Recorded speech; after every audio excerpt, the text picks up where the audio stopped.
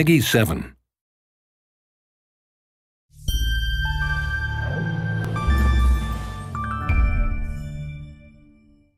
Hello, my name is Dennis Filipovic and I'm a creative supervisor here at Blue Byte on the project Anno 2070. Today I'm going to show you the meta game, which is a big new feature on Anno 2070 and which was never seen in an Anno before. So, we have the Senate as at first, which is one of the features which allows the player to change the game world and change the balancing values of the game world so that all players can decide in a democratic way what change for the coming next week they want to have. In this example, we have um, a vote uh, on fishing, and the fishing is uh, a little bit overdone in the world. So there are th three factions, the techs, the ecos, and the tycoons. And they are proposing a solution to the problem.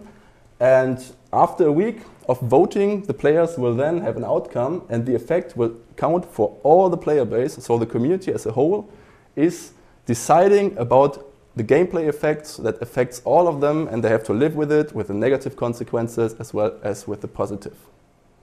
Another feature we have is the vote for the current president. The president in the World Council vote is also one of the representatives of each faction. We have Father representing the techs, we have Seamus Green representing the Ecos, and we have Skylar Baines representing the Tycoons.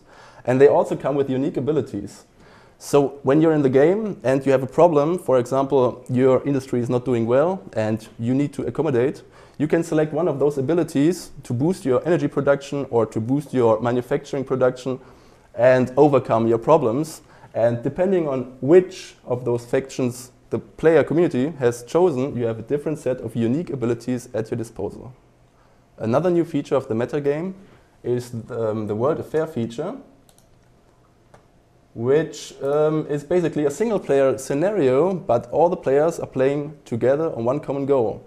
So by completing the scenario, we generate community points, and the whole community as a whole has to play together to reach the winning conditions to unlock new bonus content, titles, and portraits for themselves. And they all play in single player, but they work towards a common goal to re reach a bigger achievement as a motivation to log in every day and to see what's going on, we also offer daily quests, which means you can jump into your save game or make a new single player game and complete a daily quest. You can go to the quest screen, accept one of the daily quests from, all from, from each of the three factions, jump into a single player game, complete the quest and earn reputation points for the faction.